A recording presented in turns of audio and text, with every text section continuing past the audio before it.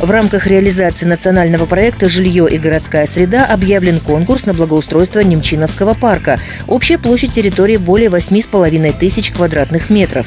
Перед благоустройством пройдет инженерная подготовка местности, расчистка пруда и прилегающей территории. Работы планируют завершить в этом году.